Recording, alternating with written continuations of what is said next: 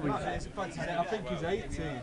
No, he might be 19. Yeah, he's similar to Curtis, yeah. Same at school. Oh, Curtis! Hey!